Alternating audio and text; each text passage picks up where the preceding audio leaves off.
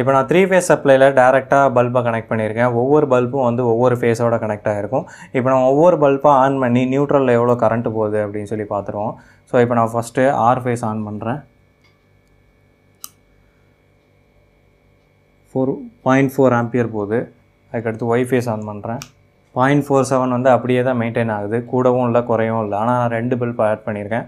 So இப்போ B phase on பண்ணுறேன் so B phase மூணு ஃபேஸையும் நான் அட் அ டைமில் கொடுத்தோன்னா இங்கே வேல்யூவில் பார்க்க முடியும். கரண்ட்டு ஜீரோவில் வந்து நிற்கிது இப்போ நான் நியூட்ரலை கட் பண்ணிட்டேன் அப்படின்னா இந்த மூணு பல்பும் ஒர்க்கிங்லேயே இருக்கும்.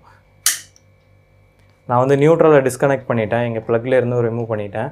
ஆனாலும் இந்த மூணு ஃபேஸும் வந்து பல்பில் கனெக்ட் கனெக்ஷன்லேயே இருக்குது